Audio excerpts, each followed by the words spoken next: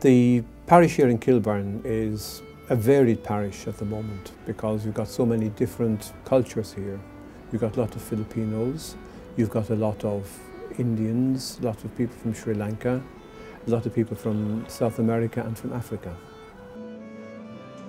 Our main ministry here is working with the younger people, the schools, working with the sacramental programs, working with the sick and the elderly, and providing for the people who come here because we meet people in every stage of life, in all the difficulties of life.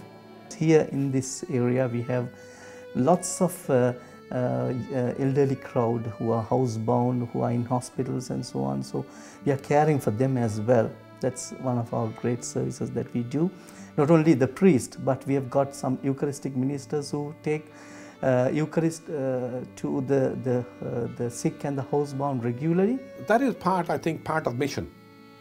Connecting with those who are not in control of their own destiny, so to speak, helping them to realize their potential and to give them the power to achieve that. This is one of the most deprived areas in the UK.